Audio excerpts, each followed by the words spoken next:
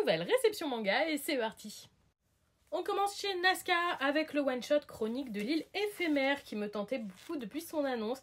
Un titre tout en couleur comme ceci qui a gagné euh, au euh, Manga Award. J'avais déjà lu d'autres titres qui avaient pu gagner euh, ce titre sans être hyper convaincu, mais celui-là me tentait beaucoup, que ce soit au niveau du synopsis ou même au niveau des graphismes qui sont très originaux.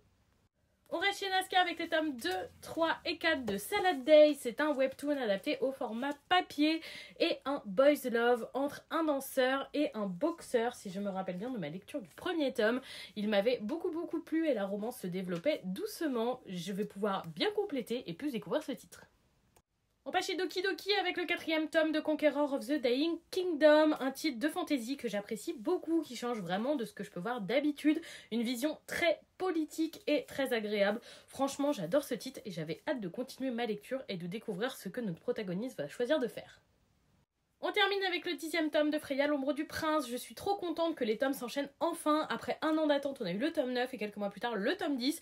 La parution a l'air de reprendre son cours et ça tombe bien. Si vous aimez Call Game ou Nina du Royaume aux Étoiles, je vous recommande vraiment, vraiment ce titre. Il est absolument incroyable. Le euh, combat contre Sigurd est engagé et j'ai très très hâte de voir ce qu'il va se passer. Et voilà pour cette réception. Dites-moi si vous lisez ces titres ou s'ils vous tentent.